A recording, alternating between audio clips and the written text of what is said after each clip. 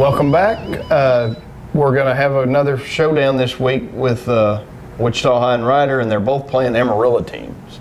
Yeah. Uh, Wichita High goes and plays Amarillo Tascosa, which was in a shootout last week.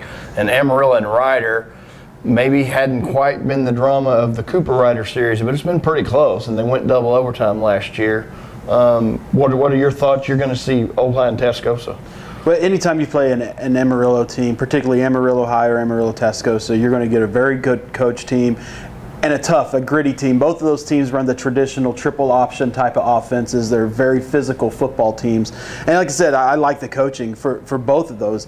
Uh, Tascosa is coached by Kim Plunk, and, and you know he's actually got some Midland ties, so I'm a bit familiar with Coach Plunk. And then uh, Mel Maxfield's been the coach at Amarillo High for a long time, and he's got his system in place. They know what they're doing, and they just get after it. Yeah, they're still old school. Very Yeah. much.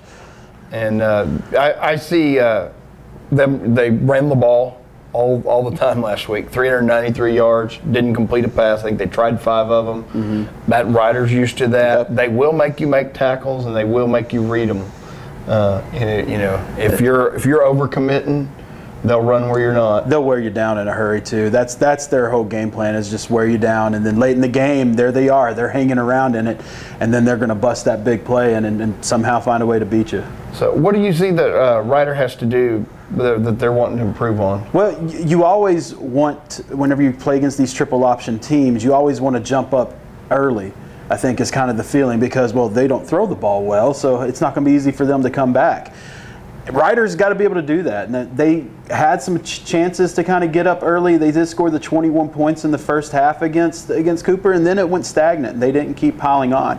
I think against Amarillo High, they got to get up early and they got to keep going. They can't stop on offense. It is a test for your secondary, also, though. Yes, it Facing is. That riders had that over the years where they run at you, you know, 11 plays in a row. Well, then that one play action that they slip a fullback or a tight end behind you. Mm-hmm. There it is. Um, there you've now given up a six-point play. Um, because you were trying to help with the run game, so that it's a test for all 11 guys, even though they're really not testing you time after time with routes. Yeah. Uh, I, I think I think Rider probably will try to just diversify a little bit more on offense, try to establish weapons other than than. Uh, And he's going to have some, yeah, he's going to have some of these guys that were hurt and out last week. He said those guys will be back this week, so they're going to have a bit more options on offense. When we come right back, we'll look at the Coyotes and what they have to do on the road to go to two and oh. zero.